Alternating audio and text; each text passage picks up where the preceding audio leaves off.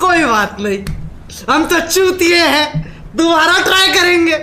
और क्या बेहतर कोई काम है हम पे?